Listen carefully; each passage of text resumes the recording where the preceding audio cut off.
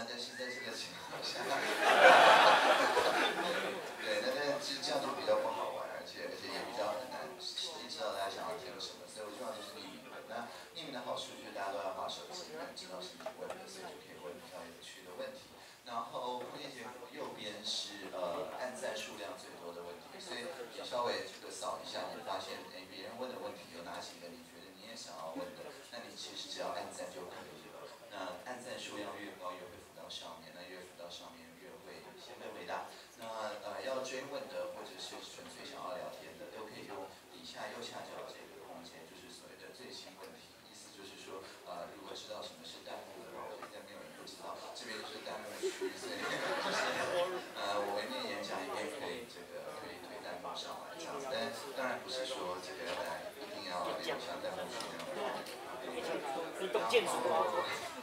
换一次。刚刚就是有有很多，在累积了问题，六个问题，所以我想我也就不再这这这。然后我想要问一个，我们今年只。是相当密集的一个一百。哈哈。一轮，然后啊、那中间如果在这个留言区发生就是就是种呃吵架聊天包啊，这种非常讲的事情，然我们可能就是特殊的情况。那如果呃一小时四十分钟下来，我就把所有问题都回答完了，而且大家也没有新的问题，那我们就提早结束。不过事上从来没有提早结束过，我也不觉得这次会提早结束，所以我们就直接开始好。那刚才这边有二十六位朋友们问说，如果台湾的教育需要改革，那我认为第一。最主要的事情应该是什么？哈那呃我再加入那个两年前加入那个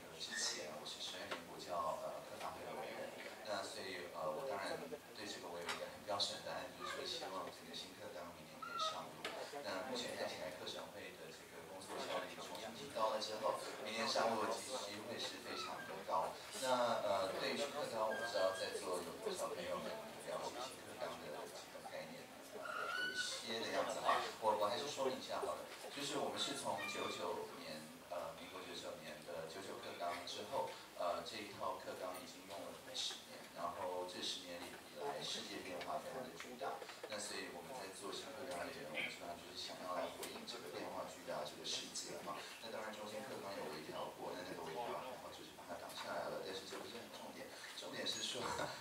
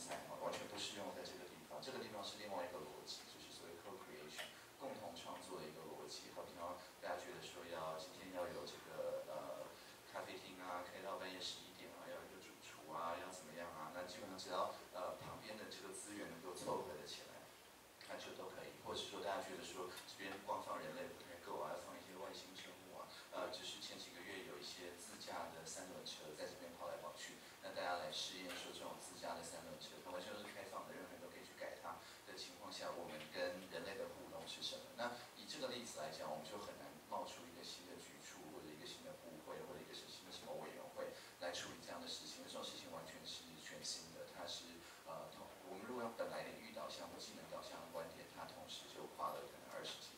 所以这种情况下其实我们不太再能够用旧的那种方式来教小孩。所以我们呃新课堂的想法就是我们把技能导向改成所谓的素养导向。那素养导向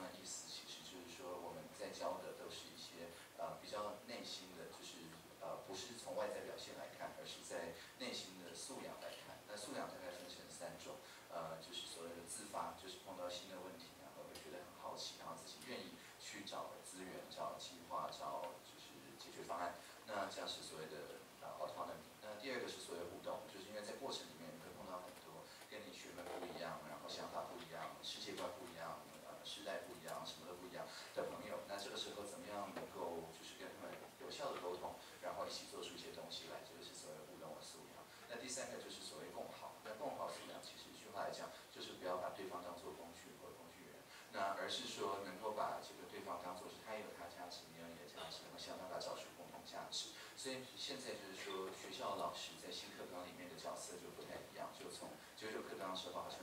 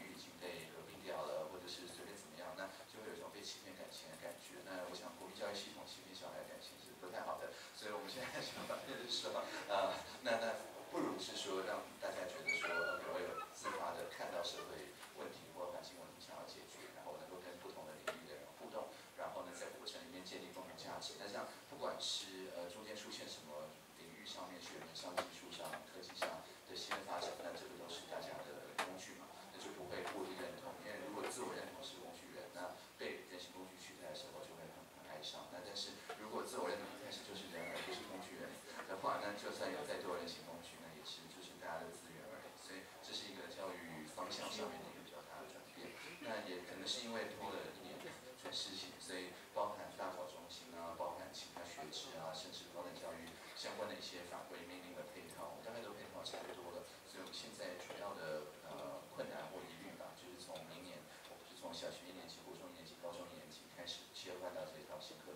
最大的这个阻力，我想还是说，哎，家长能都呃放弃掉那个学校作为特定的训练所的那种感觉，而是变成说学校其实就是一个资源的这样子一种感觉。那这种感觉当然，呃，我觉得在高一跟国一是比较困难，但是小一我觉得是比较容易的。那主要原因也是因为小一的家长本身就是教改之后的学生嘛，所以在小一的家长其实时间是站在我们这边的，就是他们的家长。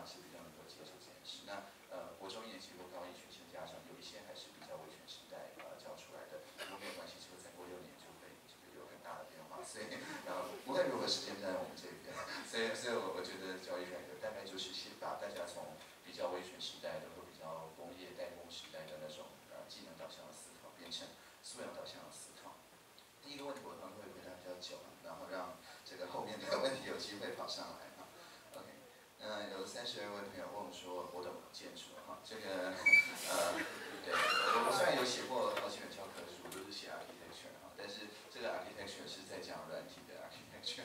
是在讲硬体的 architecture，不是在讲空间的 architecture。嗯，我我们这个，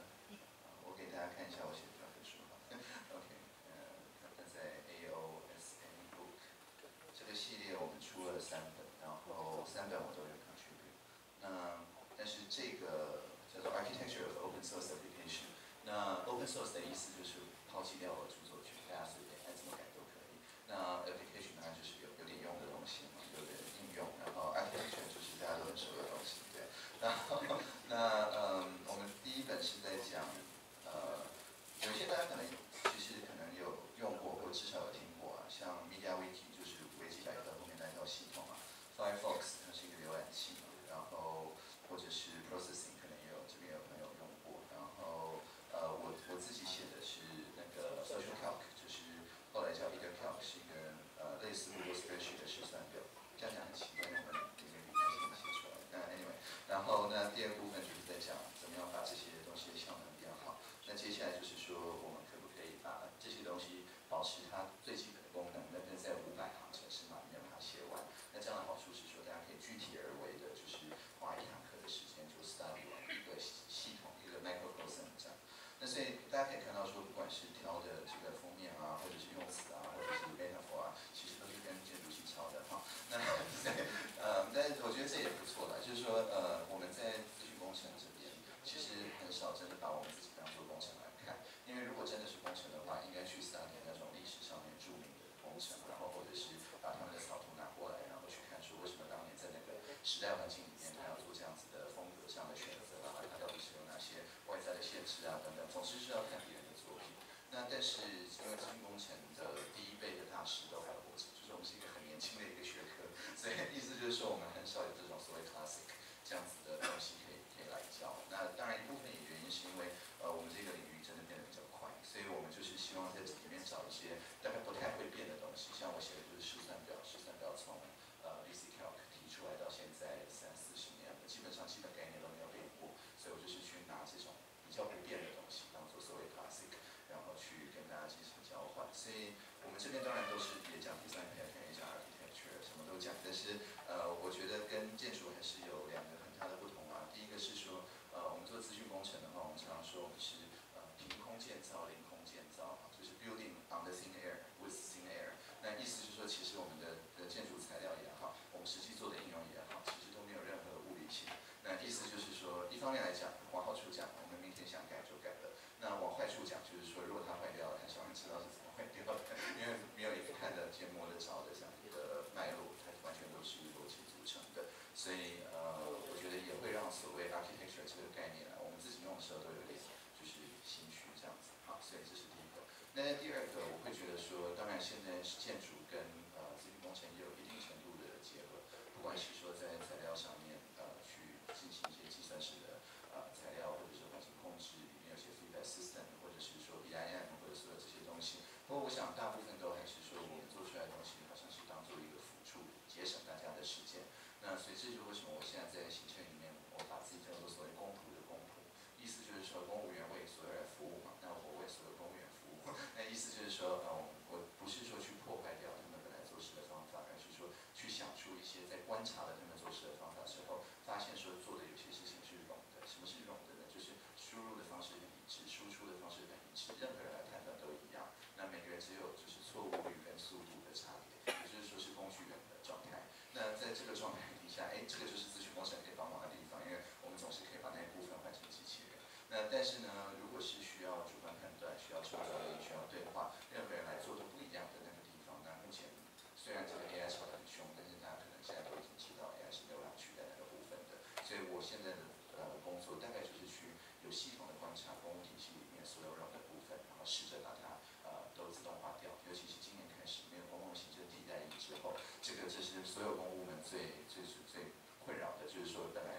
呃，公选的部分都可以交给替代役去做，但是现在没有替代役了，所以到底怎么办呢？那所以这个时候，数位系统忽然之间就变成我们都能想到的东西，所以这是大概我目前在院里的工作。那这个跟建筑刚刚讲的有些方法论，甚至有些词汇啊，说不定是重叠的，但是我不会说我懂建筑，我只是说从建筑这边有些得到一些灵感。嗯、呃，有二十位朋友们问说，哎，这个身为跨性别在台湾的经验啊，211是属于正常能量释放，请不要。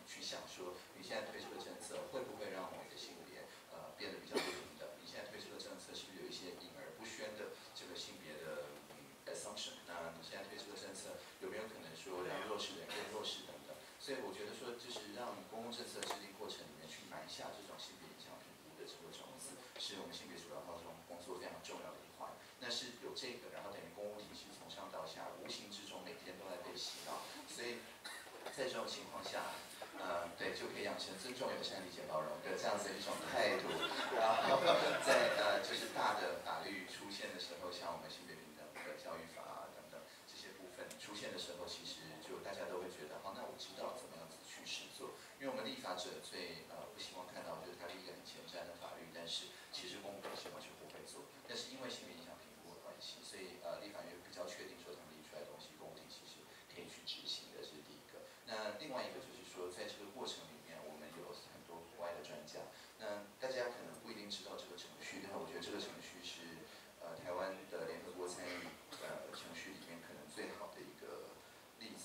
做 C 端啊，就消消除对妇女一切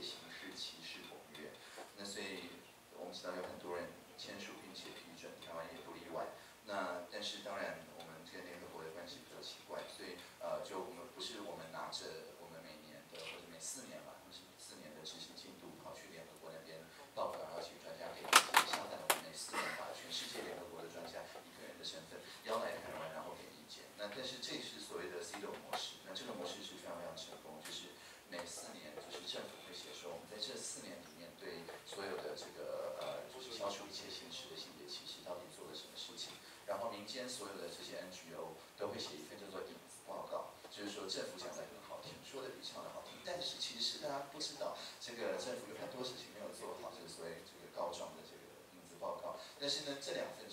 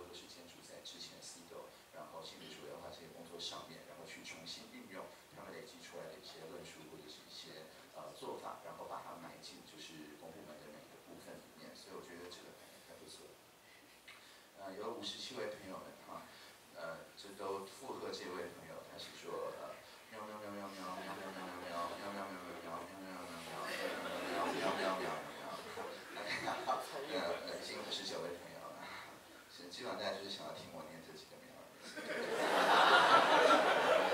来满足大家的需求。好，呃，有29位朋友们问说我怎么看年底的台北市场选举。好，呃，我是新北市的，我住新店。呃，我不会投台北市长的选票。所以所以呃，我对台北市长选举没有没有什么太多的评论。那大家可能之前都有看报纸说有。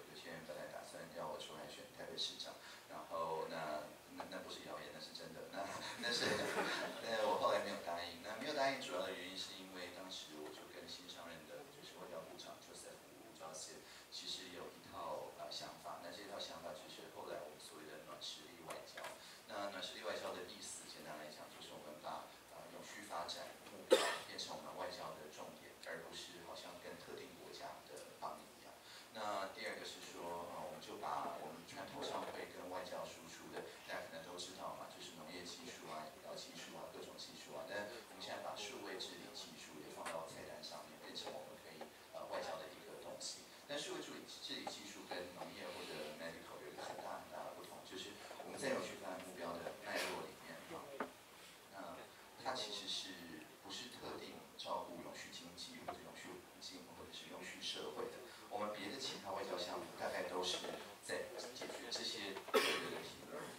但是我们在做呃台湾天然我们在做软实力外交的时候，我们在做的其实。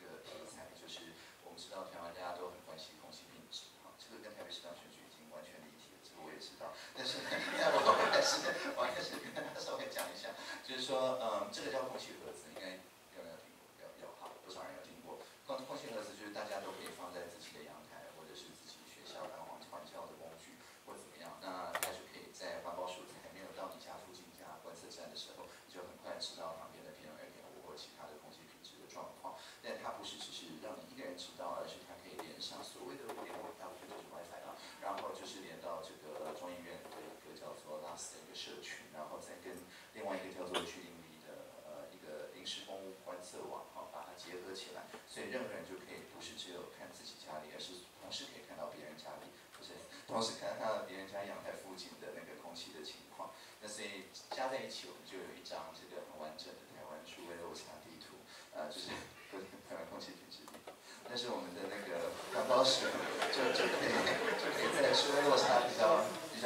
地方，就是比较大家就是不知道为什么没有这个呃红线盒子的地方去布一些点嘛。所以这个其实是我们在外交车上拿出来讲的，就是说在所有其他的亚洲国家，不要等组织到两千个人了，大概组织到呃两百个人，那个就是领头的就会被请去喝茶、啊、查水表啊，或怎么样，总之就会消失了，因为这个是非常威胁的环保署的公信力的。如果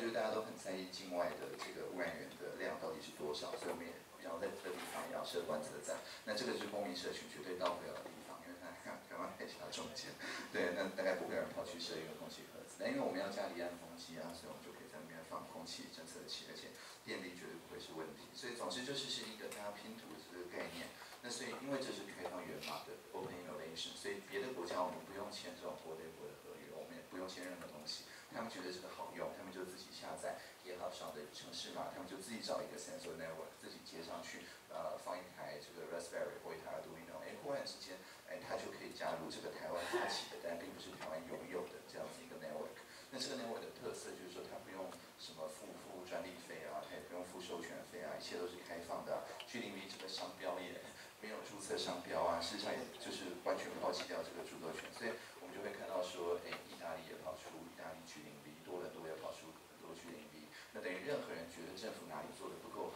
，G O V 点 T W，什么点 G O V 点 T W 没有做好的，就把那个 O 换成零，就是一个零的转移，那大家就可以进入这个呃，进入这个 shadow government，先进入一个影子政府，那所以这也有点像 C 道的影子报告，就是说大家是靠着觉得对政府很不爽。但是呢，这个不爽不是完全呃负能量而已，而是把负能量转化成一种。那我们来做给政府看，告诉政府怎么样做才好。那这样子的情况下，大家就可以变成一个共用的一个呃，像我们叫民生公共联网 CI。那 CI 其实就是呃，我会觉得它是 collective intelligence，就是群众智慧的意思，就是所有人收集到这些不管公部门还是民间资源，全部都汇整在一起。所以呃。终于把话题拉回这个台北市，所以我前两天 有碰到台北市市长，呃，不是局长，咨询局长那个李维斌，我也有碰到市长，但那是比较久以前。Anyway，那李维斌他呃他是说他觉得他的策略是正确的，就是当时空气盒子他们是透过咨询局，然后当做所有环境教育的教材，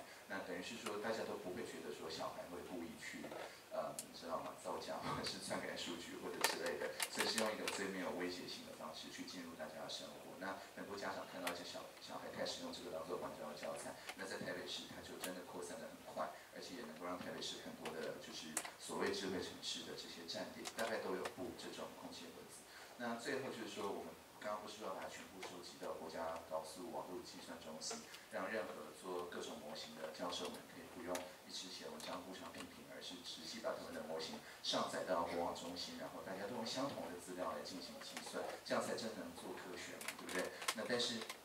那个民间就有朋友说，那像我怎么知道说我们上传出来的这些资料不会被国网中心的人篡改？好像和选前一天不管之间篡改大家的资料哈？那虽然这个我我是觉得国网中心实在没有动机要参与选举吧，又不不可能篡改大家的资料，但大家还是会会担心嘛，所以后来就有另外一个社群的呃贡献者。应该叫 Jason，然后呃跟就是一些这个 BI Labs 的朋友，他们就说那这个问题很容易解决，就是你在上传到官网中心前，他们都会定期的做 snapshot，然后把那个 snapshot 就是快照存到区块链上面。那所以因为区块链基本上官网中心也只不过是一个节点，所以说大家都没有办法去篡改在区块链上面这些数字，所以大家就可以知道说，如果国网中心竟敢篡改大家的资料的话，那大家用区块链去做一下比对，马上就知道了。哎，这一套。后来我们发现，也有非常多国外的朋友们想要用，因为他们也碰到就是公民科学家所提出来的资料跟政府的资料没有办法对齐，彼此不觉得 reliable，所以我们开发出来的这一套所谓 effective partnership 的这套方式，那他们也发现说，哎，这个是非常非常好用。所以再次强调就是说，不管是从台北市或其他地方来的这些空气盒子啊，这些资料开发出的这些演算法，我们都是透过一个呃 open innovation，就是说让任何人不需要付授权。特特别签什么 MOU，那就可以直接很透明的看到我们到底是怎么样做跨部门的资料的合作。那这个就是变成就是我们的，就是我在跟外交部合作，他们派一个人来我办公室，然后我现在名片有就是背面，它就变成外交部印的，那这样子一个情况。所以刚才就在讲说，为什么可以这个在公务门呢，就是自己设计名片，因为后面是就是外交部的那个台湾 Can Help，就是呃大家可以呃看联合国去发展目标，不管哪一项台湾都可以帮。上啊，所以因为这样的关系，我就没有去选台北市长，但是我还是很很愿意，就是把台北市做的这种很好的，不管是环境教育，或者是数据，或者这些开放运用的例子，呃，就是呃给全世界的朋友们知道。那呃有二十七位朋友们想要知道说，我平时在想些什么问题哈？呃，我平时在想的问题，大概就是像呃。我对 YouTube 作为创作者的看法，然后 这个透明过程到底是遇到什么困难啊，或什么之类的哈，这些就是我平常在想的问题。呃，确实啊，因为我去哪里巡回我去哪里演讲，呃，大概都是靠这种 outsourcing，所以呃，我其实每天醒来的时候，我并没有一定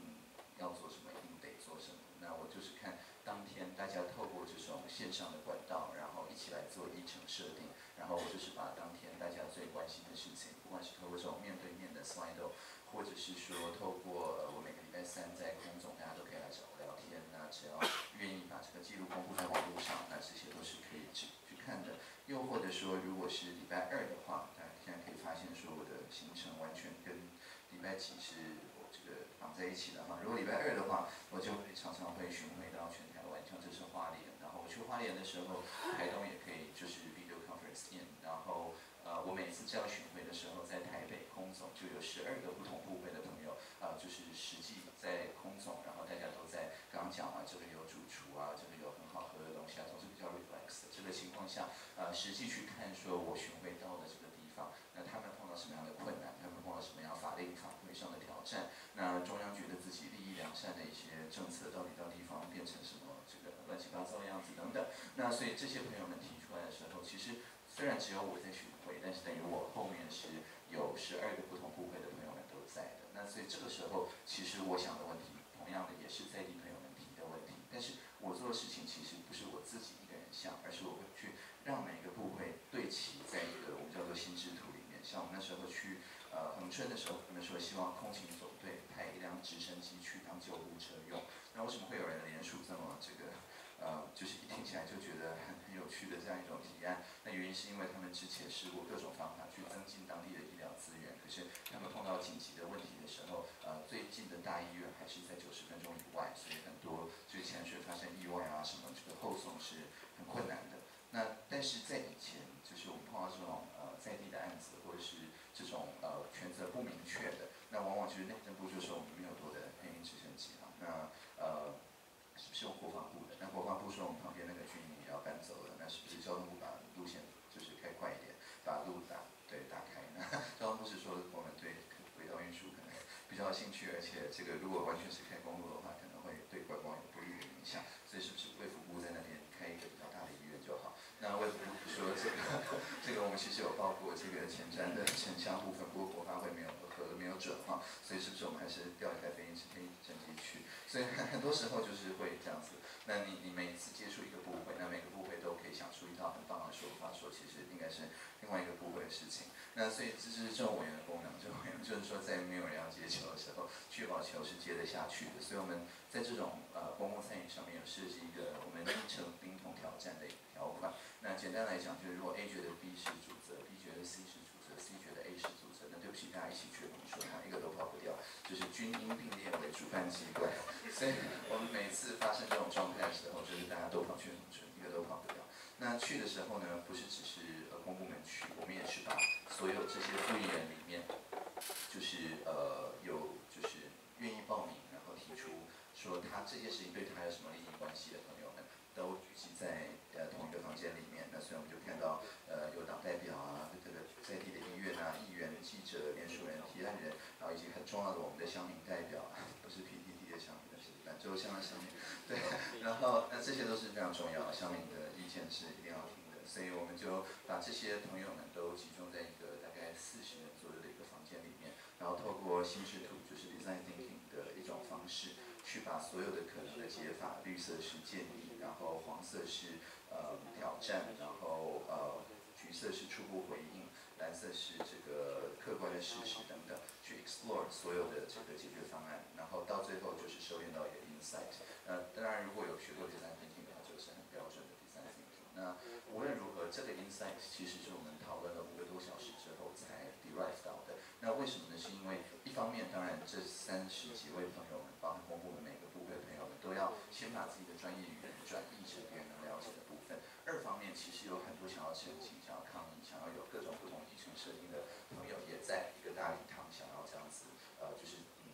我们不要说干扰，呃，进入进入这个正确的讨论程序。那所以后来我们就发明了方法，就是说我们是在大礼堂，然后可以可能上千人都可以，那一天是上百人，然后呢，我们就是像看电影一样去看那个比较小的房间的直播。那但是呢，我呢是在比较大的这个礼堂，就像一个 ESPN 的主持人一样，跟跟大家说明说，呃，这一位现在看放的这个简报，它是什么意思？然后他这个这位他现在贴了这张便利贴，它什么意思？所以去把它转译成就是长明语言，让大家比较容易了解。那任何人就算是要举布条、要澄清、要抗议、要抢麦克风，这些都真的发生过，都是在大的这个堂后发生。所以因为我们不是反向直播，所以本来的那个小房间完全不知道有这些事情发生。他们继续很专业的就是讨论各种可行的解法。但是其实，在堂后里面，任何有建设性的意见，我们就会把它透过 slide 的方式。在这个已经预先设定好的时间里面，把它贴回这边的便利。所以并不是说大家不能够有 contribution，而是说如果大家的贡献是这上面已经有的，那就好像没有发生。但如果这个上面真的是一个 original point，好比像可能有的朋友提出说，你如果发生事情的话，把医生从高雄飞过来，比你让中风的患者飞去高雄，显然是比较好的意见。哎，这个就是一个新的观点，而且还不错。那所以我们就会把它带到这里面的这个心智图里面。所以因为大家都要看电影，都要看直播，所以就算有比较吵的朋友、想要闹的朋友等等，其实到某个程度，他也会觉得说，好了，我们是继续看直播好了。所以就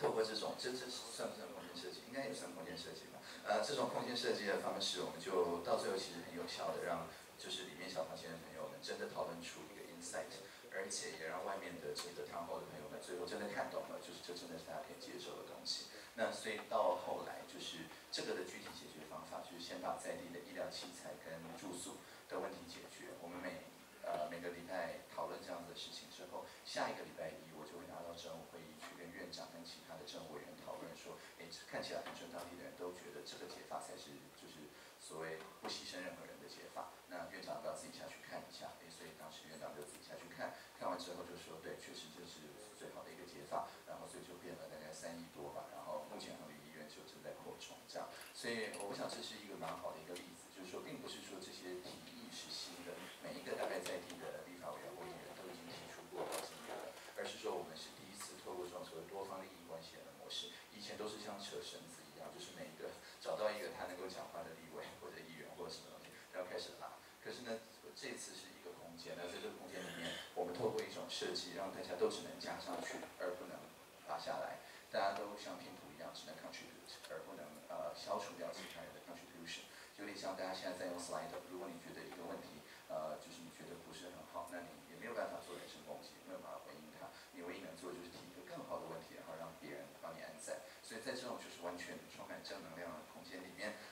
然后就会收集出这样子就是正向的解决方式哈。然后呢，我们再把它透过一个拘束力传递的程序，然后就是因为整个竹子道包含呃有时候三六零直播都是公开的，所以任何人都可以回到那个当场，然后去再看说，确实这真的是以我们当时所有现实底下能够做出最不牺牲任何人的共同价值的决定。所以这样子的情况下，其实重点就不是说哪一些问题先提，哪些问题后提，而是每个问题都有一个呃好像一个跟问题相处的一个盘面，然后大家把所有的问题都全部盘点之后，从这些问题的一团乱麻里面，自然就会开始有人出现一些 insight。但是如果你不是先让所有人把问题先全部贴到一个盘面上，而急着去解决先冒出来的几个问题的话，那那这样的话就很容易就是有所偏颇，然后就会让后面的人觉得说，哎，那你就是专门只解决他们的问题呢，不来管我们的问题。所以就像为什么我第一个问题能回答比较久的原因也是一样，就是想先想要让大家把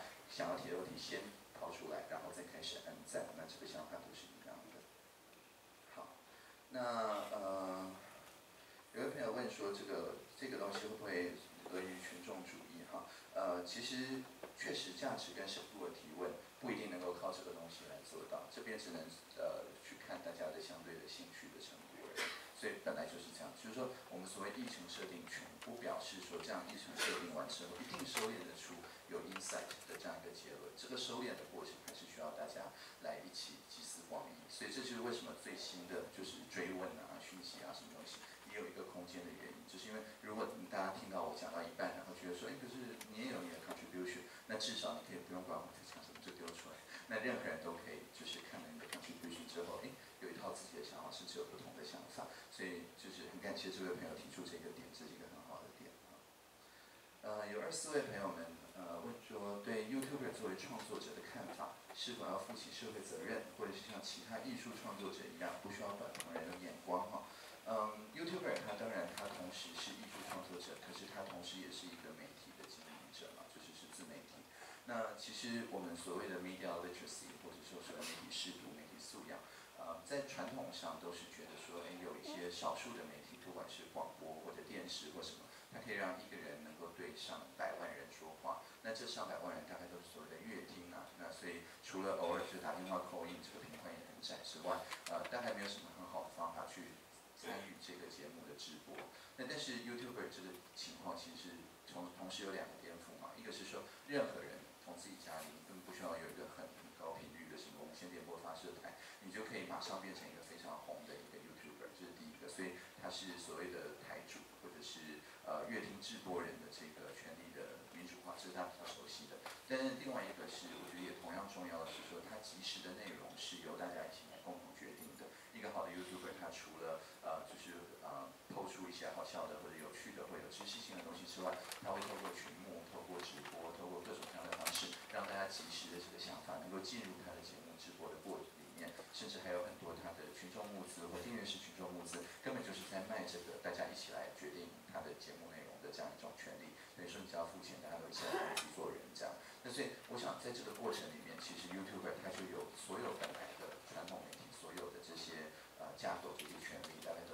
可是，一方面来讲，呃，就非常多人都有相同的这样一个权利，所以我们平常在要求的所谓的媒体的社会责任，呃，就很难要求说 YouTube 一定都上过新闻学，或者是都一定有过所谓呃，就是广播媒体等等的这些呃基本的训练。那这里面一个很重要的一个训练，其实就是所谓的平衡平嘛的这件事情。呃，大部分如果是学正规的新闻学或正规的传播，大家都会很注重说，我如果报道这个某一方面。了解到一个新的事情，可是我也知道这只是事情的一个片面的话，那我也要留一定的版面或一定的描述，或者一定不管你的媒材的性质了，一定的部分去让大家也可以看到说，不过同一件事情，你还有不同的部分可以去看。那这个是值得媒体的，几乎是老新闻的，就不用想，它就会自动平衡的这样一个东西。可是，在 YouTube 上面，大概就第一个不太有这种事情。那第二个是说，即使想要做这样的事情，也很容易在二创、三创被截图、被怎么样之后。忽然之间，你你本来还是有做一些平衡的，但是那个比较没有平衡的那一小段就 went viral，就是就变成非常有传播力。所以我们现在在做的就是变是说，你可能没有办法真的做到空间上的平衡，就是版面上的平衡，但是可以做时间上的平衡。时间上的平衡就是说，如果你发现你直播的某个东西，哎，它造成了社会的不利益，就是一些问题或怎么样，那至少我们可以在那个后面的那一集里面，呃，或者是在这个之后的回复的管道里面。去做适度的澄清。那其实我们自己就是行政院自己也把自己看作看作一个自媒体，所以我们现在就可以发现说，呃，我们在行政院的官网，那我们当然有些影音，有些懒人包，有些有的没有的哈。那但是呢，其实及时新闻澄清这个就会变成是一个蛮重要的，就是说我们随时推出一个东西，然后发现哎大家的理解跟我们的真的不一样，可能是真的有断章取义的情况。那我们相关的部会就会这个一瞬间，这个呃，就通常在一个 news cycle 就是五个小时之内，就会及时的抛出一个时间上面的平衡，就是说我我我们知道我们前面的那个讯息可能没有讲清楚，那所以大家理解可能产生了一些偏误之类的，那我们要赶快在后面的部分啊去把它讲清楚，然后希望不会再有这个类似情况的误读会发生。所以我觉得只要你接触到的人多到一个程度，大概没有办法完，至少是如果你真的造成他们的行为改变，而这个行为改变对社会整体来讲不一定有有好处的时候，那我觉得适度的平衡啊，还是一个社会责任。只是说这个是老媒体人不用我特别讲就会知道的事情。那但是就是比较新一辈的 YouTuber，可能就是发生几次事件之后，大家就会开始比较警觉到说，因为我们传播这些讯息，确实对社会它不是只有呃娱乐或者是呃知识性的效果，那事实上也会产生动员的。这个部分是就是希望大家可以就是会会有偶尔想一想的。嗯，有二十位朋友们想要知道说，让政府透明的过程遇到的最大的困难是硬体、软体的限制，还是台湾的官僚体系？啊，说起来大家不一定相信，但是其实我没有碰到什么困难啊。那但是主主要的原因是因为我我我首先我背景经验算是丰富，因为我二零一四年底就开始跟这个专业的事务官合作了，所以我们有一套很清楚的。改变理论是我们的 theory of change。那我二零一四年底的时候，当时跟所有十二职等的公务员在台湾刚好有三百个，呃，的开了三场 seminar，然后跟他们详细的解释我们在三一档的时候是怎么样子运用新的媒体工具，让呃事实能够传播的比较连快，让大家都能够协同合作，然后让不同的角度的二十几个 NGO 的朋友们呃都可以透过不同的角度就事论事的来讨论呃服务贸易协定。那当然这三百十二职等的听完之后，有一些就当场表示说他是不是退休算了。那但是，我就鼓励他们说，呃，这不是这样子的，因为我们最需要的其实是你了解到这一套之后，你不要限制你的下属去做这种创新型的东西。我们还是会需要某一个人，呃，他能够去结合就是本来的啊事务体制，但是也跟一些创新的发展在发生的时候，他能够去吸收一些风险。就是简单来讲，就是如果发生事情这样子的一种概念哈。因为如果没有人吸收风险的话，其实创新还是没有发生的管道，所以。我就勉励那那三百位朋友说，那各位都可以当做牺牲风险的那个人哈。那对，哎，但是事实上蛮蛮多人蛮吃这一套的，所以呃，后来当然这个就是有一个请君入瓮的状态，就是那我就变成政委。那这三百位朋友们每次就是有什么创新需要人来吸收一下风险，就会来找我。所以现在 基本上就是每次这种呃，就是每次我们开比较大的外挂的时候，呃，我跟大家分享几个外挂的经验哈。呃，我们哎，三分二一嘞，好，在这里好，好，呃，我们有一个年度比较大的外挂叫做总统杯社会创新黑客松哈。那这个黑客松跟大家想象黑客松完全不一样，我们是完全误用了黑客松这个名词。大家想到黑客松都是想到两天，最多三天，然后大家撑着不睡，一起做出一些什么东西来。但是我们这个是三个月，然后三个月大概不可能中间都不睡嘛，所以 事实上它是一系列的活动。那这个活动，呃，一句话来讲，就是说任何你看到总统证件，呃，响应承诺要做，但是你觉得其实没有做好的东西。你就可以去提案说，我觉得我可以做得更好。那然后公务体系应该用。然后那这个提案呢，如果你有资料，但是缺分析的人员，或者你本身就是新闻工作者，可是你缺资料，或者是说你呃是一个科长，然后但是你一直缺跨部门的这种呃政治的意志，或者是说没有足够的呃资源等等各种情况啊，你都可以提案。那提案的时候呢，呃，就是我们会去进行媒合。让让你找到正确的人人跟资源了。那媒合完之后呢，到最后就会有呃这个十队获得帽子，跟五队获得奖杯，他是完全没有钱的哈。所以到底就是奖金骗人，这个就不会来。那但是但是到底为什么大家要花那么多力气花三个月，然后到最后那个奖杯真的设计也蛮漂亮的，但是真的一毛钱都没有哈。那原因就是因为呃它的 guarantee 就是在这三个月的执行里面，总统府会当你的就是专案经理。那理论上没有什么资料调不到，理论上没有什么东西这个做不出来。那如果最后是进入前五名的话，那我们的承诺就是我们会用一切的方法，让你在下一个预算年度，就是明年变成公务体系的一部分啊。所以就是说一开始可能是 fork 嘛，是找一个新方法。但是如果这个东西做出来，哎，大家都的方法才是对的方法，那我们会尽快把它埋去就是把它合并进去，变成我们公务体系的一部分。所以可能是因为这种比较。有趣的奖励办法了，所以我们很少看到奖励猎人，然后也没有什么简报松的情况哈，所以呃实际来提案的都是真的蛮扎实的一些题目，然后其实我看很多基本上就是可能六成以上都是科长层级的人，他已经放在抽屉里两年左右的案子，然后他一直争取不到预算经费以及长官的关爱，所以他就去找一个民间的什么协会啊，然后就说哎你们去提，那他们提了之后，他们说哦很科技表配合，根本就是他写的。那但是这样子有什么好处呢？这样子的好处有两个，一个是说如果最后搞砸了，那是民间社群搞砸了，跟他的这个 credit 没有关系，他的考级也不受影响。但是第二个是说，哎，如果最后侥幸真的得前五名的话，哦，那他工作就变得非常舒服了。所以就是在这个过程里面，其实我就看到公部门的创意是真的可以被被引出来的。然后这个媒合也造成说，像我记得台湾自来水公司有一个案子是说，呃，他们就是在全台湾各地的水管都有类似呃。就是漏水的情况，那他们以前本来是要靠老师傅去巡回全台湾，大概一年半才能够听到一个新的漏水点，是很浪费这个老师傅的时间。但是其实你要怎么修，或者是你要怎么配置同一个管线，那个是有一些创造力的。但是你光是听一个声音去判断它有没有漏水，这个是超冷的一个工作，因为它的输入输出格式都是完全相反的。所以后来他们就把就是他们的水压、水流量。所有这些相关的资讯都开放出来，然后让民间的做 machine learning 的朋友们去训练所有的机器学徒。那这个机器学徒可以用 LINE 跟老师傅们沟通，那到最后就成功的把它去有一个新的漏水点，从有到它发现的时间缩短到本来的十分之一，所以呃就是漏水的问题就可以更快的获得解决。那是一个非常非常好的例子，因为如果只是靠他们手上的数据，但是却没有这些分析师的话，其实他也没有办法把它变成老师傅的这个呃伙伴吧。那所以当我们解决这个问题之后，因为我们透过永续发展目标的方式去标定嘛，就是解决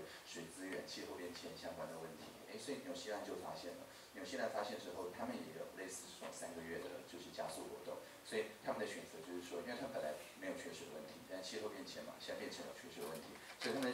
选择就是说，要么跟以色列买非常贵的，而且以色列那家公司本身也不经营水管，他们还要做非常多的调教，或者他们请台湾这个总统杯黑客送得奖团队直接去威灵顿住个三个月，然后大家一起想办法写出符合他们的应用程式。那后来他们就选了跟台湾合作，那这个其实也是外交的一个非常好的例子，因为你愿意把你所有的水管的水压水流量交给某个别的国家的团队，它无形之中是一种信任。如果你不是信任到这程度，你也不会给。那二方面是说，在这个过程里面，我们还是有生意可以做，就是台水公司未来也许可以卖这个。所以意思就是说，让公务员勇于创新，不怕失败，就是建立在呃刚才讲的三个嘛，一个是说有人出来说，如果有出问题都是我的错，那就是吸收风险。那第二个是说，让他们创新的过程里面，如果侥幸成功了，让他们都可以省到力气或者省到时间，像那个台水的例子。那当然第三个就是过程如果有 credit 的话，那这个 credit 是分享的，而不是说好像就是有有事情都是呃就是公务员的问题，然后有要剪彩都是政委要去剪彩，那这样的话就没有人创新了。所以就是尽可能的去 share credit，然后 absorb risk，然后去 reduce work。那在过程里面，有些不会成，那不成功也没有关系，反正大家都知道，就是他们很奇怪，所以不成功呢就是就是很常见嘛。那但是如果有这个创新侥幸成功了，那我就会在演讲、在媒体、在各种方面啊、不断的去赞扬我们这些专业的事务官。所以在过程里面，其实慢慢大家就发现说，因为我们也可以用新的方法来做事情。那当然，因为我是愿者上钩了，就是如果这些科长不来投总统杯歌颂，不参加我们开放政府的这个提案，啊、也不实际来找我的 office hour，那当然我就假装它不存在，所以我也不会明天就跑去国防部说，哎，你要用我这一套来做事，并不是这样。所以就是愿者上钩的概念。所以因为是自愿结合，然后是极尽式的透明，就是过程都是对外公开的，所以哎反而就不会有任何挫折的这个情况发生，因为呃来找我的大概都是他心里已经准备好的这样子。有二十二位朋友们想要知道说，呃，认为 AI 会如何改变未来的社会空间哈？其实不要说未来啊，现在社会空间就已经改变了。呃，我们我们回到刚刚的那个东西，就是这台是叫做 PEV 啊，Persuasive Electric Vehicle，具有说服力的电动车。这个说服力是什么意思呢？就是说服大家 AI 不是什么洪水猛兽啊，就是就是他希望让大家觉得无人车不是那种有事没事就会撞人东西，而是说它是一种比较像同伴动物这样子的东西，就是说比较像狗而比较不像狼哈，大概是这样子。那呃，跟狗跟狼有什么差别呢？狗是愿意跟人类一起演化的一个物种，就是我们现在会去呃追，就是彼此的眼睛看到什么，然后你跟着看什么，或者是呃就是去有这种 nonverbal gesture，就是非语言性的，就是用呃鼻子做指向的方向或一些这些讯息，据说啦都是人类跟狗这个共同演化出来的一些特征。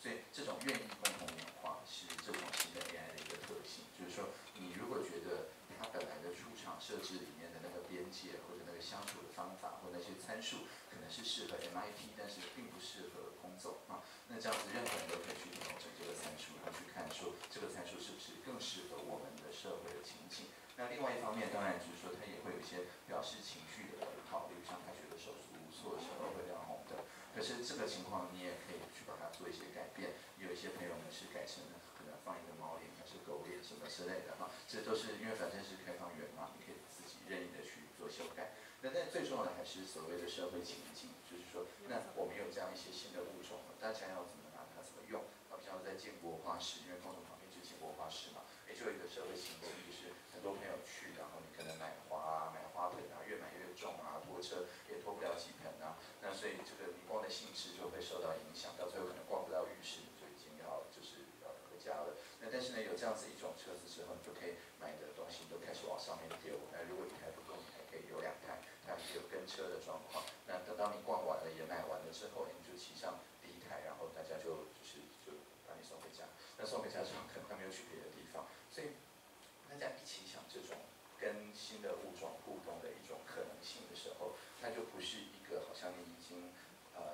接受或者不接受，只能订阅或者不订阅的东西，它就变成像我们八零年代在做呃一九八零年代在做 personal computer 的时候，是说 it's personal，就是说它的 computing 这个运算的这个能力是你个人的，然后每个人可以有一个不同的个人的运算环境，那每一个人只要就是不要有那么大的数额落差，都能够去接取到像这样子的新东西的时候，我们就可以一起去看说，诶，这样子的新东西对社会可以带来什么样比较正面的，而且甚至它的创作者都没有想过的的这样一种可能性。所以这个社会的可能性是大家一起透过参与式的设计去把它做到的。那当然，参与式的设计通常都会违法了。那所以我这边也跟大家花个五分钟解解释一下，说我们现在如何策略性的鼓励大家违法。这个是一个公，这个是一个公用的品牌，叫 Sandbox 点 org 点台湾。Sandbox 的意思就是说它是一个沙盒，在里面违法就是做个沙堡啊，什么东西都不用去管这个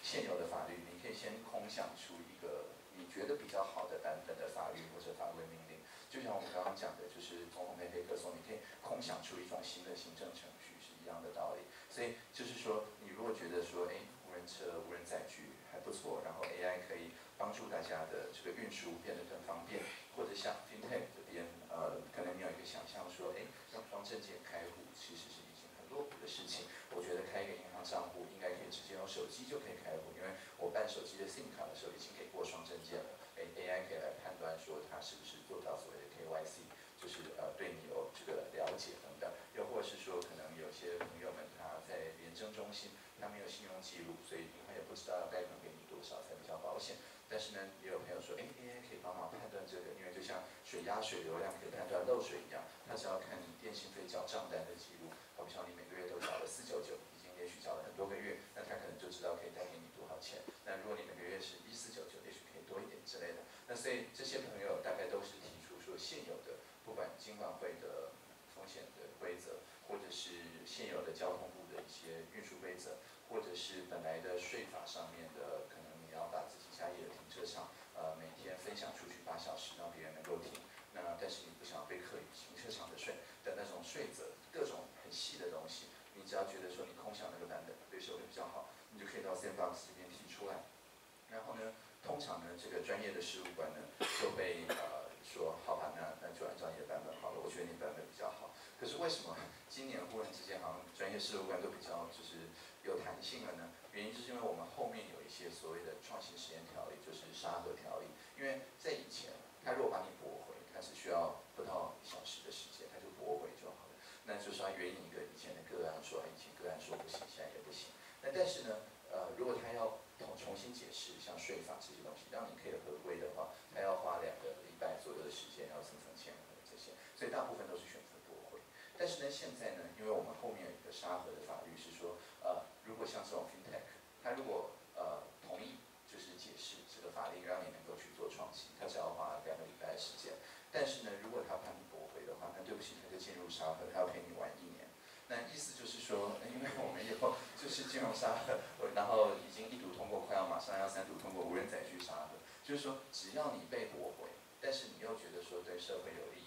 那这样子的话，你就有一年的时间能够跟愿意跟你一起呃实验的一个地方。那不管是金融沙盒，可能是四千人，或者是说或者几千人，按照你的实验计划了，或者是无人载具，好像就是要无人船啊，或者无人。机啊，或者无人车啊，或者开一开飞起来的东西啊，或者游一游上岸的东西啊，这个在其他国家因为是交通部管的，大概都是分成三个不同部门。对，因为我们在这边是经济部管的，所以它看起来都一样。所以就是你你不管怎么样的混合载具，反正你你只要想得出来了，能够解决社会问题，那他就跟你耗一年。那这一年做的事情就是收集资料，就像刚刚讲那个三轮车一样，去让大家去想象各种应用的可能。你如果有商业模式，你可以一并实验商业模式。过了一年之后，就让全部的利害相关人在那个区域的人去决定说，你这样子用 AI 到底对社会有比较好还是没有比较好。那如果大家真的都觉得没有比较好，那我们就感谢投资者帮大家付了学费，然后中间累积出来的这些数据、这些资料、这些风险原则都可以给下一个创新者去使用。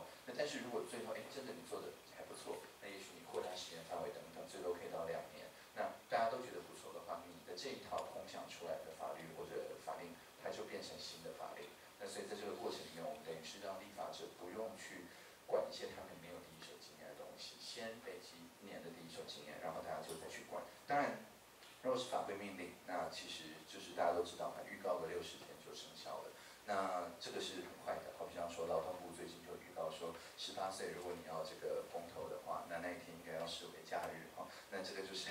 这个公告的，这很快就会生效的东西。但是呢，有时候你要动到法律，那这个时候我们就要回立法院。那立法院最多可以花到四年，但这是四年里面你的实验都可以继续进行，等于是等于是 monopoly，就是独占的这个情况。在等立法院调整完之后，当然就会开始有竞争者竞争者进入市场。所以我觉得说 artificial intelligence 它只是可能性的一个开端了，最后还是要靠 collective intelligence，就是群众的智慧，让 AI 跟 CI 结合。这个是有一个专门的呃，我们有一套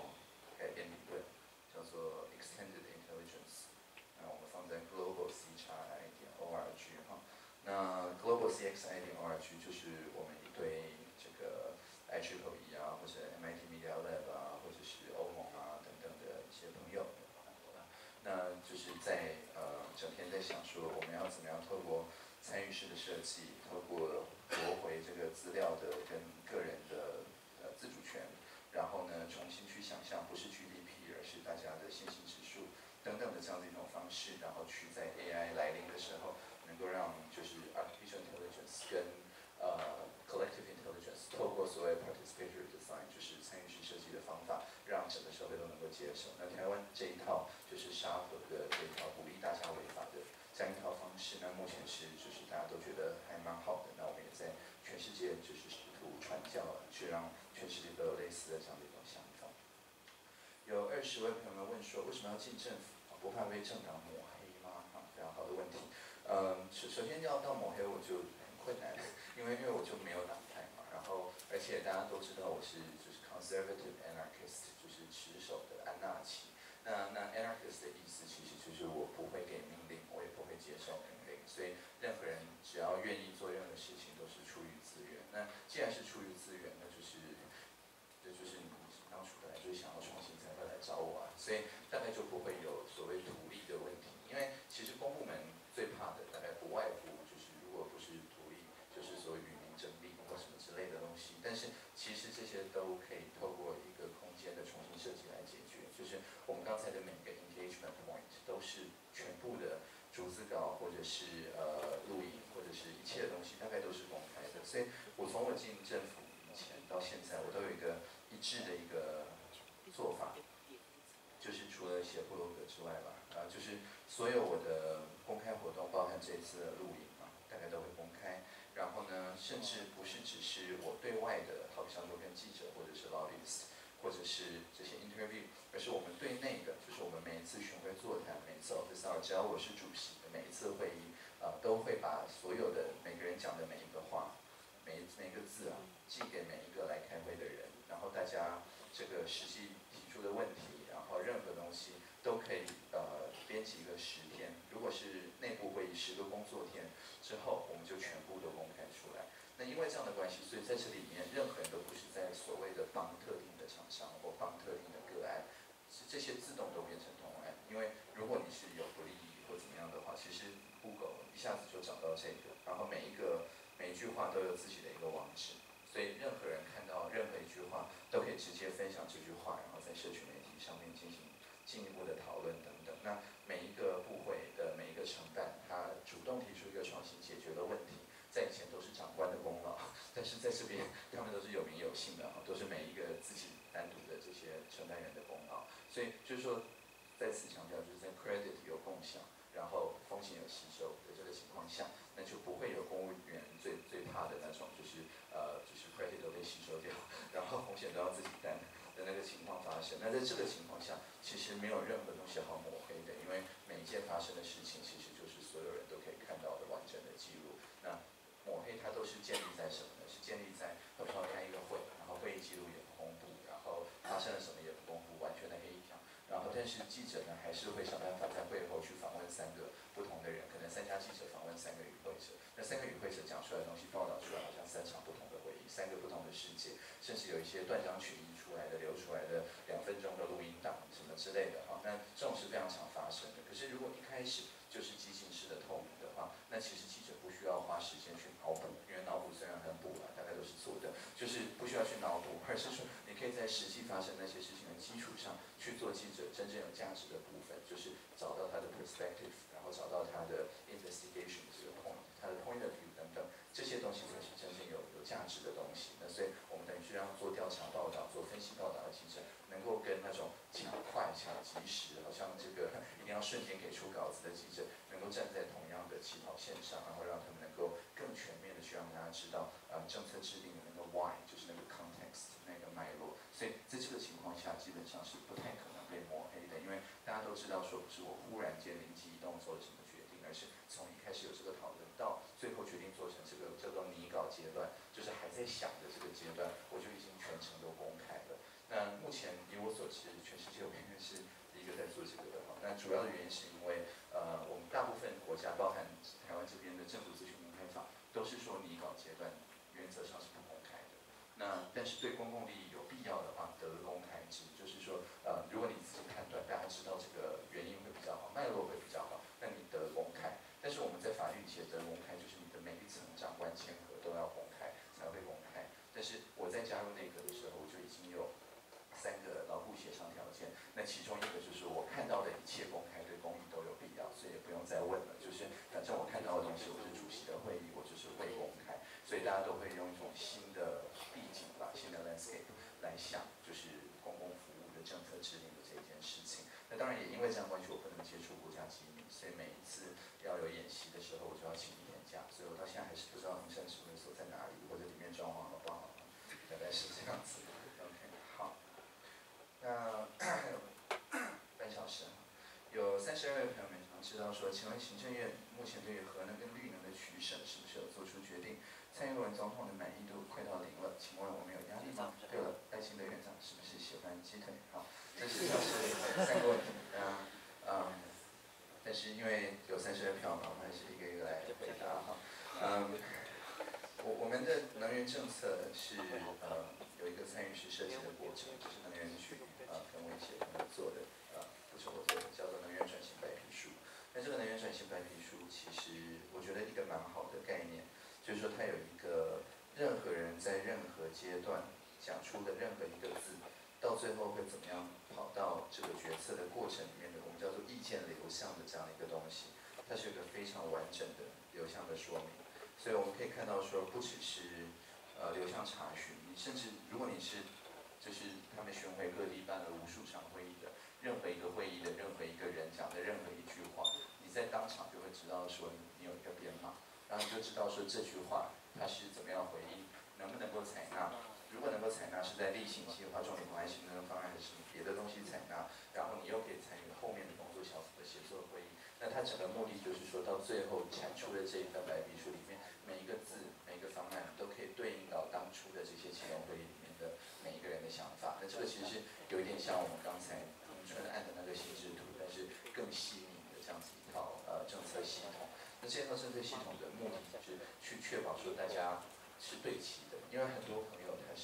好比像说对能源是相当了解，可是他了解的那个科学状态是可能二十几年前阶段的科学状态，我们就透过这样子的方式去不断对齐大家对于能源的就是具体的了解跟作为了。那所以我想这里面呃，当然现在有公投嘛，所以我也不要讲的太太怎么样，就是说当然公投归公投了，但是至少目前大家发现说我们。对于呃，尤其是风力发电的这样子一种评估，看起来是没有什么太大的问题。那离岸的风力发电，呃，技术进步的速度也比二十几年前大家想的要来得快。那我们讲说什么在台湾这个海峡上面布，那个都还是固定式的嘛。当然未来还会有就是呃漂浮式的，那就可以布到更外面。所以事实上这个风场重复呃就是大规模的利用，我觉得是蛮让大家期待的一件事情。那当然如果要很详细的看每一个不同可能情景的试算，然后欢迎能源转型白皮书哈。然后，呃，然后蔡英文总统的满意度应该没有快到零了吧？但是呃，我我想这个是对我来讲是没有什么压力的。我会觉得说，嗯，本来政府就应该完全信任人民。那人民要不要信任政府，其实是呃都都还好的事情。就是说，如果你觉得政府不值得信任，那临时政府的整个想法就是说，你你去找出一个更能够获取公信力的方法，不管透过区块链还是什么别的技术，那然后来证明给政府看，说这套做法比较好。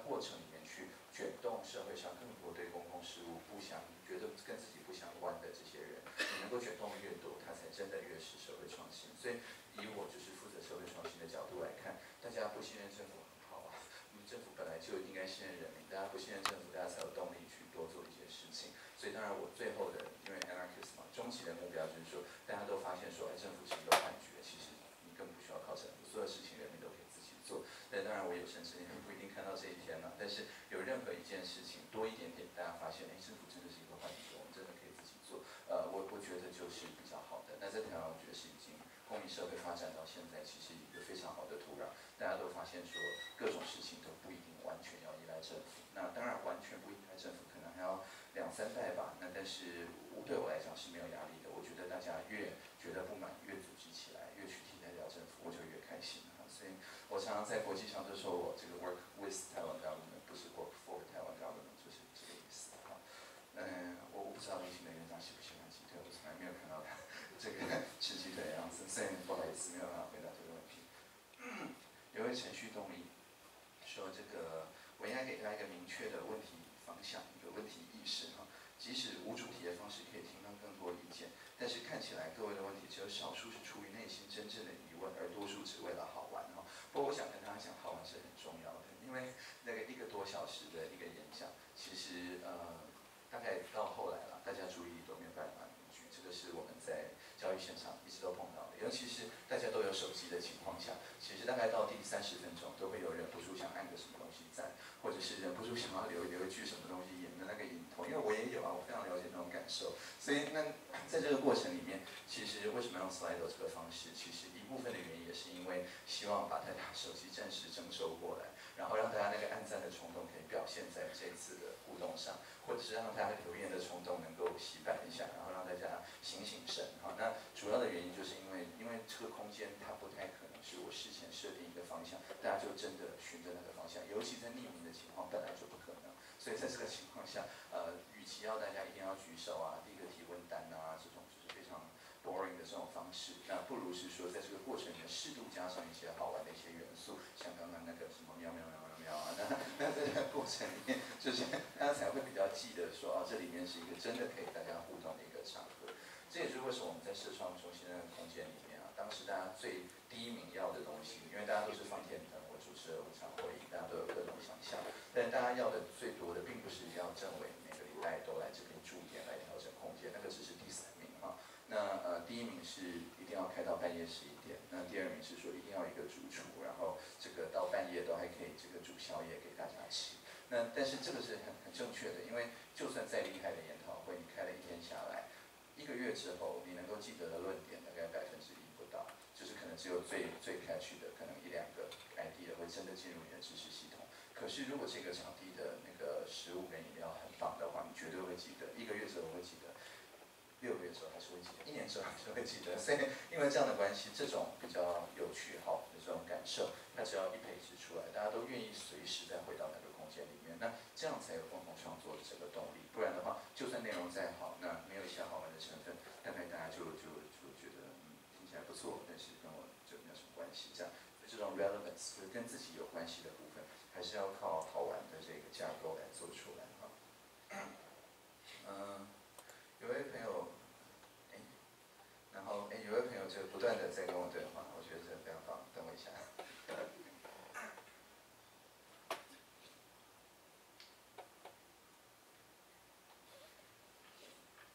有位朋友问说：“发自内心的疑问，难道不应该高于权威好玩而缺乏建设性的低估吗？”我觉得这是就是好玩的部分跟知识性的部分是，譬如鸟是双翼了，就是你有你只有一个，大概都是飞不起来的。那这是就是左脑跟右脑都得有一些东西。然后我们这边是不能贴表情包嘛，所以大概就是这种呃靠这种梗吧来当做表情包用。那但是这个真的是有必要的，因为不然的话，这个知识的交流它没有办法联系到 affect。没有办法联系到个人的情感。当然，如果全全部都是个人的情感的话，那当然也就是不太可能就是让大家记得。所以还是要有一定的 curation 啊，有一定的策展。那我并不是说我真的就做得很好啊，下次欢迎大家自己试试看这种自然方法。有二三位朋友们想要知道说，大陆反攻第一时间怎么样网络怎么应对哈？那这是我第一次看到大陆反攻四个字，我觉得非常的新鲜。感觉像是我们要去侵略人。这年头这个年轻人的史观都 跟我们小时候相当不一样。OK，嗯，对，那当然就要看是哪个大陆嘛，如果是澳洲大陆 或者欧洲大陆、美洲大陆，这个都都有不同的不同的方法哈。那 anyway，那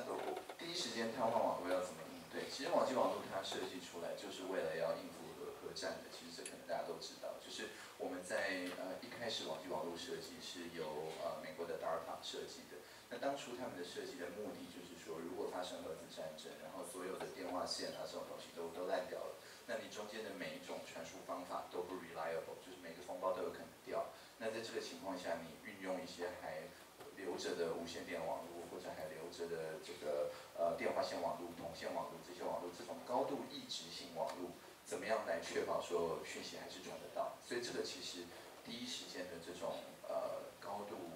瘫痪性的打击。其实就是 Internet 当初设计出来想要解决的那个问题。所以网际网络为什么叫网际的原因，就是因为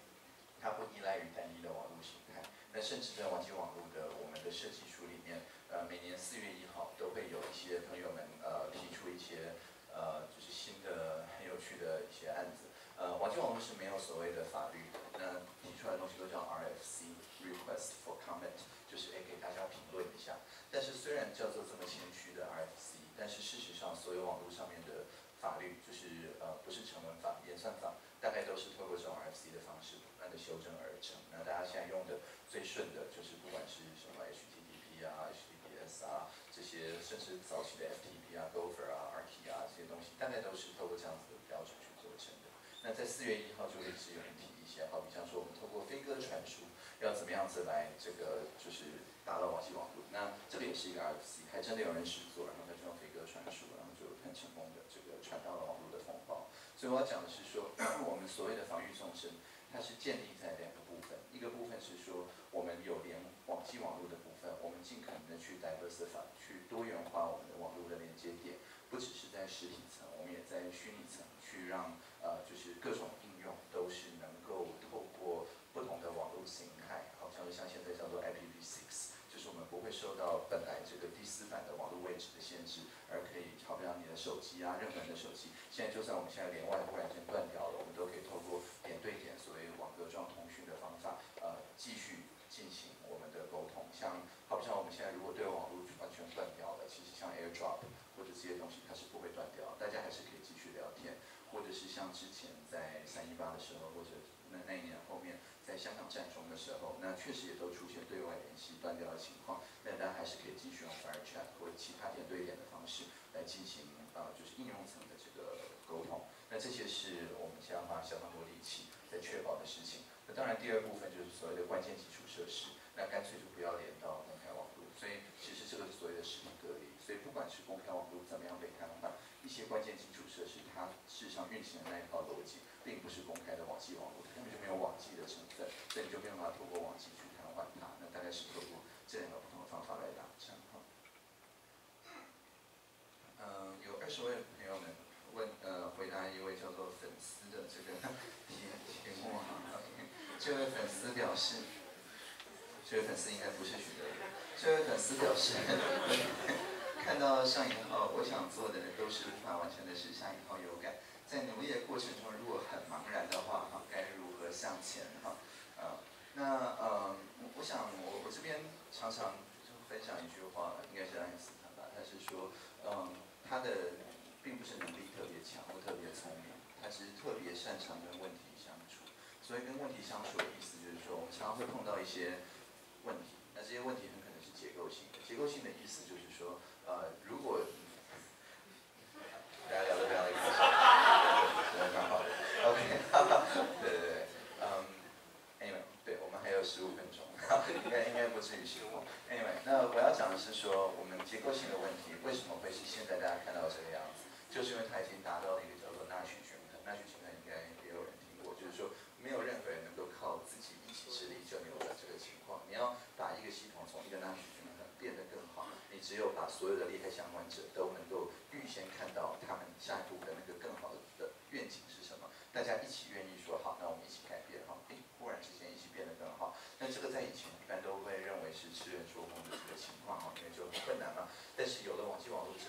真的有可能是先抗病，然后再做行动。那最好的例子其实就是群众募资。如果大家有参加过群众募资的话，就会知道说这跟一般的慈善的捐钱相当不一样。一般慈善捐献，如果你是第一个捐的，那其实对你你等于吸收掉大部分的风险。越后面捐的越知道说啊，他就已经成了，我就是锦上添花哈这样子的情况。但是群众募资可以说，哎，我做这件事就是需要这么多资源。大家不管先捐后捐怎么样捐，你如果没有到这个资源，那我们就全部都退回去。所以这个时候大家就可以知道说，哎，那每个人都是自己量力而为，他不会有一个好像呃对前面的人进行一种道德勒索，然后对后面的人又有 free rider 的问题，而是大家真的都可以比较觉得说，好，那我现在觉得哪些事情比较值得做，那我就给他一些资源，然后大家凑到了，哎，我们就做。那如果没有凑到，大家就知道说，现在社会对这件事情还没有来得及呃去进行结构性的改变。那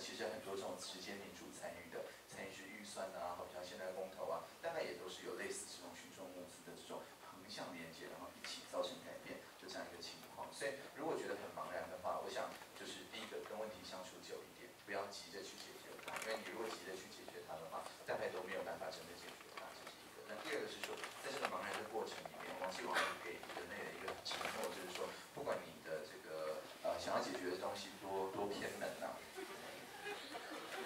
多偏门呐、大概在这个世界上都可以找到跟你在解同一个题目的人，这样子。所以是我觉得就是这样子来觉得茫然的时候，就是先多找一些跟你一样觉得茫然的人，然后跟问题多相处久一点，然后就会有一个这个 insight 出现哈。哎，为什么他一直都要问洗发精？这个我最最近大概三场演讲都有人问洗发精，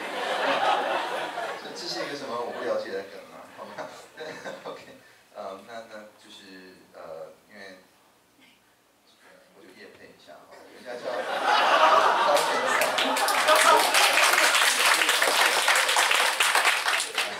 他致力于与消费者沟通法医专业价值，去除除除除去劳动力里面的不对称跟不合理，而且他们有事没事还会去进行意检啊，然后去这个让义工啊或者不同这个背景的朋友们，这个都能够透过这个意检的过程里面更了解哈，所以我不管是剪头发还是烫头发还是什么，都是交给这个社会企业叫做好剪裁来处理，所以这欢迎大家多支持他们的社会市民哈，然后如果要看他们的公益报告的话，可以到他们网站上面看。然后这个接下来就可以去跟大家推荐什么奇幻柠檬油还是什么之类的，不需要到这个地步哈，大概就是这样回答这位朋友的问题。嗯，有二十位朋友们想要知道我有几颗比特币，我我完全没有领过比特币，我二零一二吧还是一零啊一零，我我那个时候就已经呃 对真的会有流流汗，那个叫流，OK，哇有人已经 figure out 怎么贴 emoji 颜文字，我们很快就会看到有人 figure out 怎么贴动画了。Anyway，就是 呃对，那但我从来没有领过比特币，我大概二零一零一一年就在说我结案的时候一小时一块比特币，那时候一块比特币还不到新台币三千块，那所以事实上那是最早的时候，根本就是为了要推广，让大家知道说有比特币的存在，然后用这样的方式来推。那所以我在比特币一块对新台币三千的时候有接过一些案子，对六千的时候也接过一些案子，对一万对一万多的时候大概都接过一些案子。那但是每个案主都跟我说，对不起，我们的账务系统没有办法处理比特币，所以比特币对法币那个时候是多少？他们要对英镑或对对美元或对什么，他们就当时就以签约的时候的那个东西来来付给我。那所以就有一个好像四千多的时候的案主就很庆幸，因为我完成那个合约之后，比特币就涨到了七千多，所以这个他就就是觉得说啊，他省下了一半的钱这样。那但是事实上我从来没有收过比特币，然后我比特币的那个账户，我在就是当政委之后，我也我也把它关掉了。所以关掉就是把这个私钥了，把 private key 把它丢掉了，但是我也没有背起来，你也不知道。但是事实上，因为都是有公开的记录了，所以我就在监察院的那个财产申报说，我我从来没有也没有要打算呃持有就是这种虚虚拟的通货，所以到最后这还是对比特币的这个概念的一个推广跟宣扬，但是我并没有真的领过比特币哈。好，那有二十位朋友们想要问说。循环经济、创新经济、IoT、物联网、联工业四点零、大数据、全自动化制成等未来对社会对建筑有什么样的影响，或者可不可以结合在一起发展出全新的建筑领域，并且跳脱所谓的上一条传统建筑商业号。啊，这真的是这个 buzzword bingo 啊，这个 所有的潮词连成一线就可以，我不知道可以换什么乖乖之类的。那因为你你你潮词连这么多的时候，我我可能没有办法 说说什么具体的回答，因为每个潮词都是都是呃自己一套想法，自己一套理论。那但是这些全部加起来到底是什么？那我我我只能讲两个我观察到的啊，一个是说在这一堆东西里面，可能有一个比较共同的部分，就是大家现在对于呃人类跟就是别的物种或者是整个环境相处的各种可能性，它开始出现一些松动。那我我意思是什么呢？因为以前我们在设计环境空间或者设计互动空间的时候，大部分都是去想说呃就是一个标准的使用者的这样一种概念。可是慢慢我们就发现说，使用者因为人工智慧的代理人，或者因为各种不同的互动的新的模态出现，所以它慢慢变得越来越多元。就是每一个不同的呃，我们以前可能会考虑像什么身心障碍者啊什么之类所谓的通用设计嘛，但是现在就发现说，其实每一个人，好像你正在划手机的时候，你就是注意力缺陷的状态，就是说大家都是有事没事有一些身心障碍，因为因为你在不同的模态里面，你的注意力的分散的状况是不一样的，然后你的呃注意力运用的方法、身体的运用方法、各种方法都是不一样的，所以每个人都不是说好像呃就是变成是单一的 persona，而是说按照你跟这个空间互动的方法不同，你会有各种各种不同的 persona 的出现。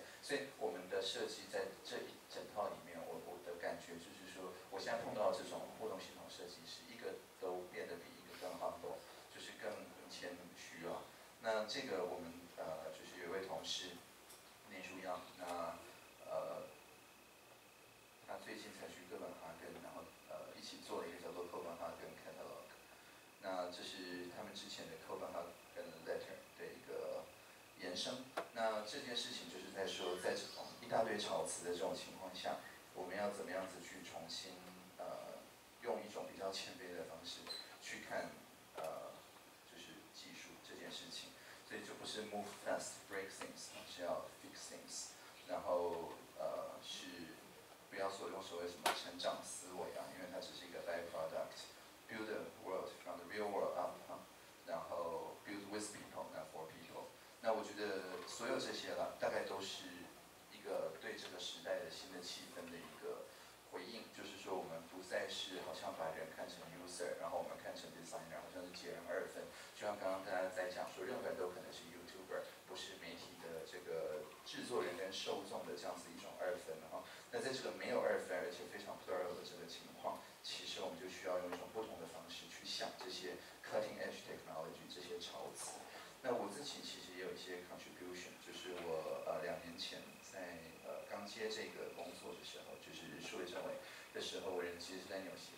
然后那个时候，呃我这两年去了三次纽西兰，然后每次都跟他们毛利族这个有相当多很棒的互动。那毛利族大家可能知道是呃就是台湾原住民族的文化上的后代，他们有事没事都会来寻根。然后我们跟就是纽西兰的合约里面有另外一轨，就是原住民族的原住民族的的协约。所以呃纽西兰的宪法其实就是他们的白人跟毛利族一起签的一个合约。那这个合约里面毛利族的这些想法，就可以透过这部类似宪法的东西带进他们的法律系统里面。所以好比像说他们的第三大河那条河是有法人格的，它可以有董事会的席位。然后如果那条河的权益受到了侵害，那是那个董事的权益受到了侵害。不过当然一条河还是不会说话，不会投票。所以事实上是就是当地的原住民族跟当地的政府各派一个人当那条河的代言人。但那条河会想什么，完全是靠这种刚刚讲的，就是呃所谓的物联网等等的这些数据去反映出来说那条河现在心情怎么样。但是无论如何，这种类似泛灵论的概念，其实给我们一个很好的一个切入点，去想说，那也许物联网它不是只是物联网而已，它是把一些其实本来有生命，甚至也有灵的这些东西哈，呃，让我们第一次能够看到，然后跟它能够对话，那不管是河流还是什么永续的生态系之类。所以当时我在呃当所谓社会政委的时候，当时他们要我写一个 job description，那所以我当时很有希腊，所以我就写了一首诗当做我的 job description。因为反正也只剩五分钟，所以我就念一下给大家。那这个等于是对刚刚那些潮词的一个回应啊。这首诗是这样：When we see the Internet of Things, let's make it an Internet of Beings. When we see virtual reality, let's make it a shared reality. When we see machine learning, let's make it collaborative. When we see user experience, let's make it about human experience. And whenever we hear that the singularity is near, let us always remember